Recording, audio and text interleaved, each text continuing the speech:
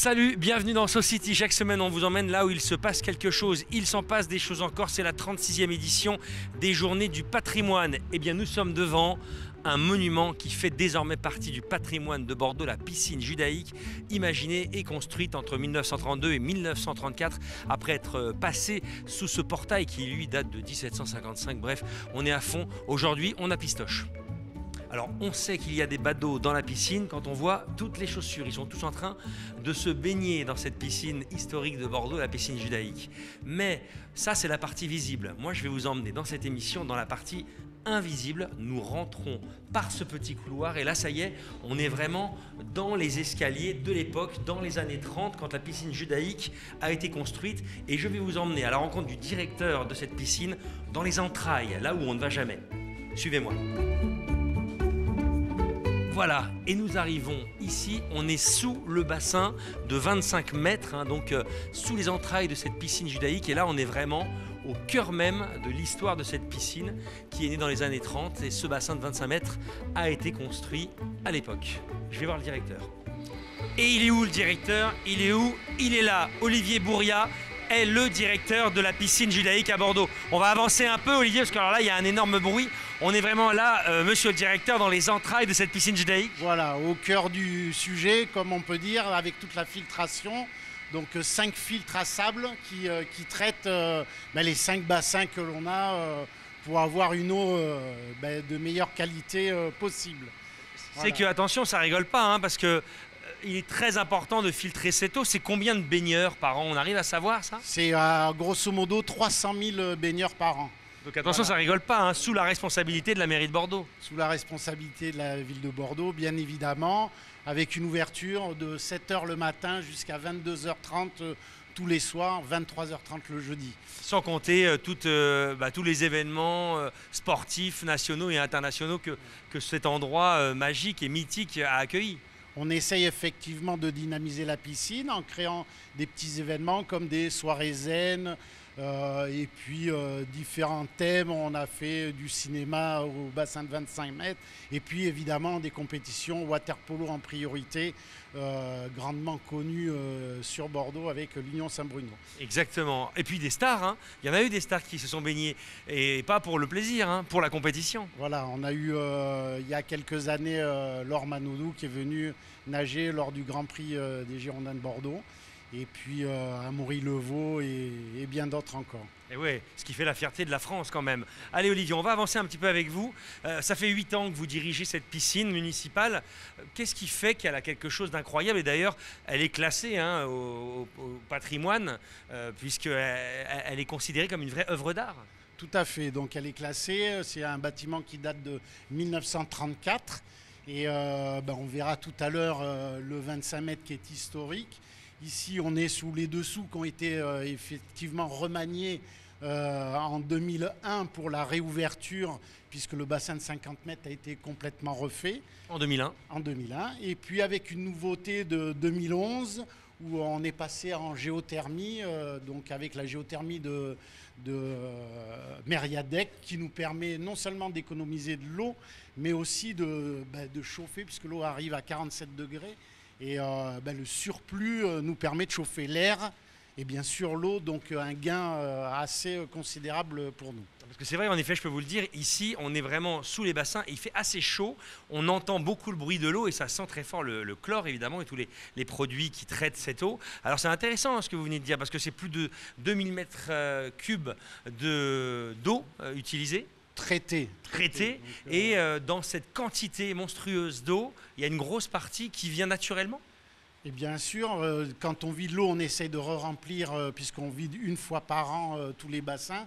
C'est une norme obligatoire. Donc, et on re-remplit principalement avec la géothermie, donc de l'eau qui arrive directement de source de Meriadec.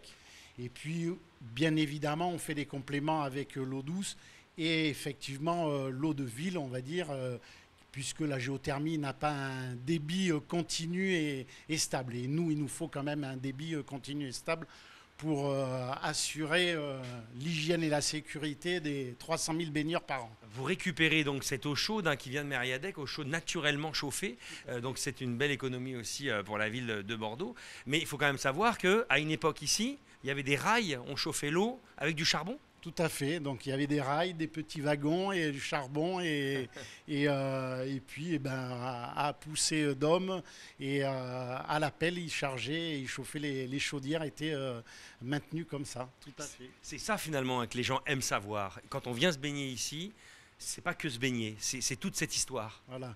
Et donc tout ça a été fait principalement pour le bassin de 25 mètres, le bassin historique, qui lui a été refait en 91, euh, euh, ben, vous verrez tout à l'heure. Et, euh, donc toute cette machinerie servait à chauffer ce bassin de 25 mètres. Puisque le 50 mètres était découvert, était un bassin uniquement d'été, avec un plongeoir de 5 mètres et 10 mètres, le seul sur la, la région de 10 mètres d'ailleurs, et qui maintenant effectivement a été couvert et bien, euh, bien heureusement pour accueillir euh, principalement nos scolaires et nos primaires qui ne pourraient pas venir en hiver euh, sans cette couverture. Et vous, monsieur le directeur, vous savez nager? Je sais nager, j'essaye. C'est obligatoire quand on dirige une piscine. C'est pas obligatoire, mais c'est ma passion et je nage depuis que j'ai 8 ans. Alors imaginez en 1934, le public arrivait ici même, c'était ici l'entrée de la piscine judaïque, l'entrée officielle, alors que maintenant on est vraiment collé à la rue judaïque avec le portail, il n'y avait pas cette baie vitrée, et les gens venaient ici, il n'y a plus du tout les caisses d'entrée puisque les caisses sont en dessous, et ces caisses où on y voit des trophées, maintenant derrière c'est l'infirmerie, et derrière autrefois c'était un bar où les visiteurs pouvaient boire un verre, les nageurs aussi, en profitant du bassin de 25 mètres. Alors là, on est vraiment dans le couloir, l'un des couloirs emblématiques qui montre le style art déco des années 30.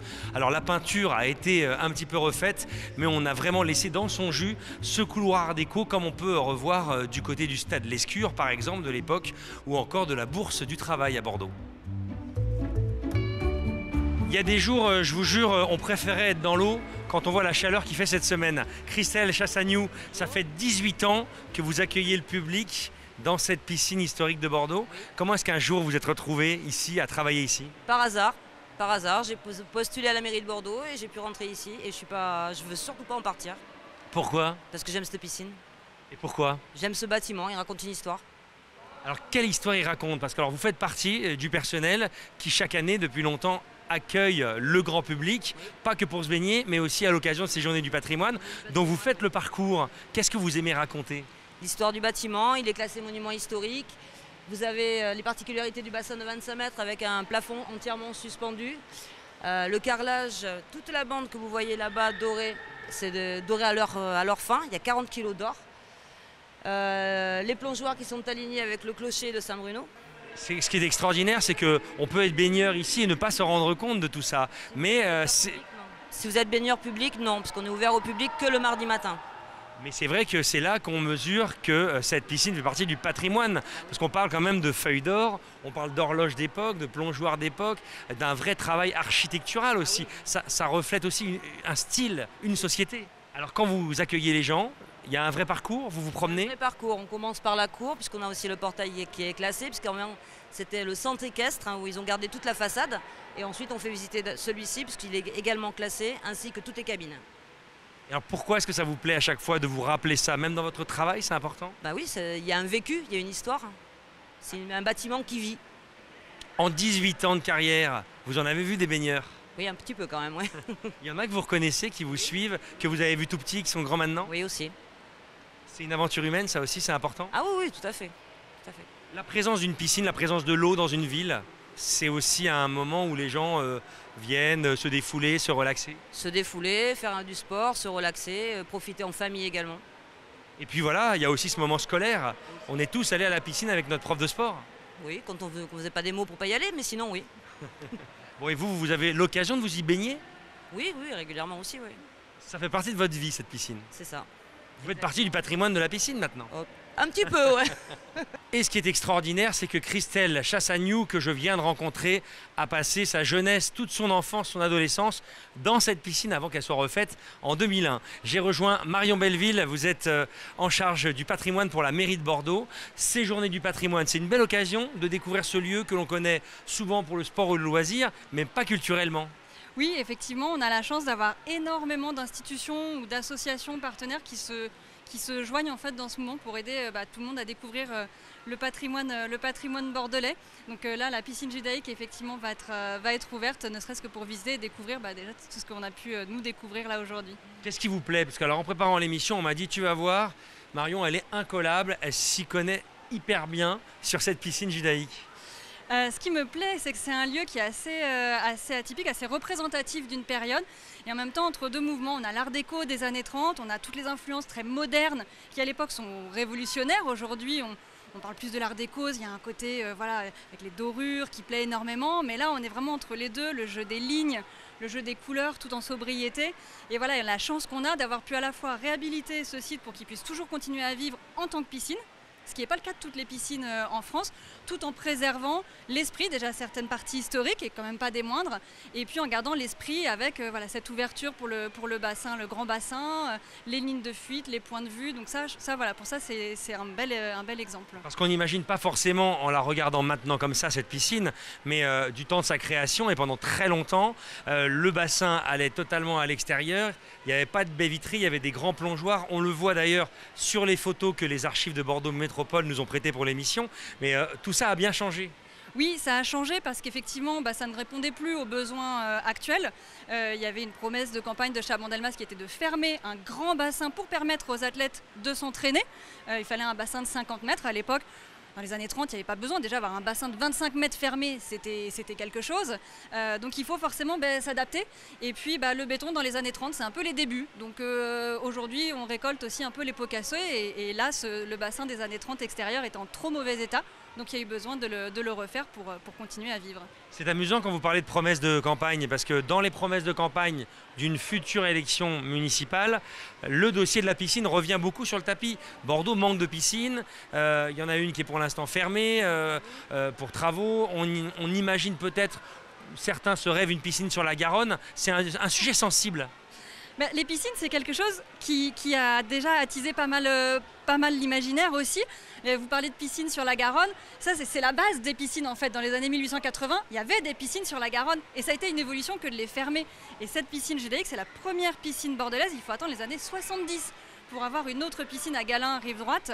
Euh, donc effectivement, c'est c'est des outils en fait qui continuent d'évoluer avec les pratiques sportives qui évoluent. Euh, les pratiques de loisirs aussi, c'est-à-dire qu'ici, lors de la rénovation, ils ont rajouté euh, un coin, un espace détente, un peu spa.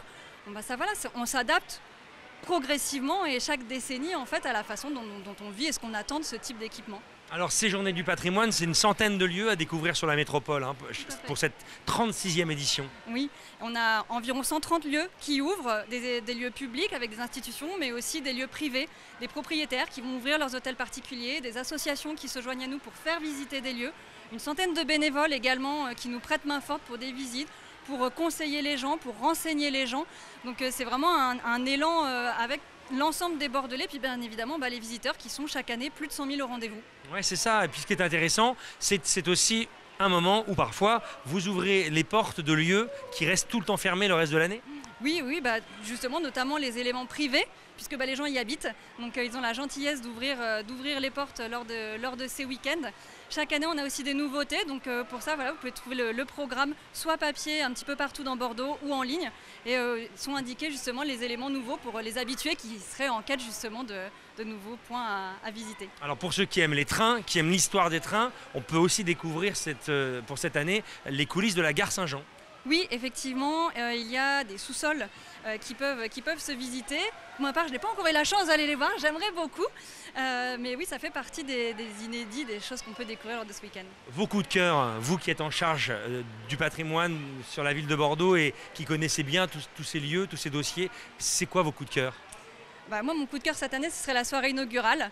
Euh, on a la chance d'avoir le retour des albâtres de la basilique Saint-Michel qui ont été volés. Il y a toute une enquête euh, absolument rocambolesque, digne d'un roman. Donc ce sont des, panneaux hein, qui datent du Moyen Âge? Oui, qui datent du 15e siècle, qui ont été sculptés euh, dans, cette, dans cette pierre tendre qu'est l'albâtre. Et là, ça y est, on a de nouveau tous les albâtres qui, qui sont représentés, qui viennent tout juste d'être réinstallés là. Euh, qui vont être dévoilés au public lors de, ces journées du patrimoine. Et donc on les met à l'honneur vendredi soir avec une compagnie de théâtre, la compagnie C'est pas commun, qui a monté toute une vraie fausse conférence théâtralisée qui retrace toute leur histoire de A à Z jusqu'à aujourd'hui. Euh, et donc ça, pour ça, bah, rendez-vous le vendredi, 18h, euh, 20h et 22h. Et alors si on rate ces moments-là, ces albâtres par exemple vont rester après? Oui, pas de souci. On organise des visites pendant tout le week-end. Euh, pour justement euh, les rendre le plus visibles possible. On va en réorganiser aussi euh, au printemps. Et puis ils sont à la basilique Saint-Michel. La basilique étant ouverte, ça reste un bien ouvert à tous. Eh bien merci d'avoir répondu à mes questions. Vous l'avez compris, la France et le patrimoine. C'est toute une histoire. Très bonne semaine sur TV7. À bientôt. Moi j'ai chaud, je vais, me baigner. Hein. Je vais chercher mon maillot.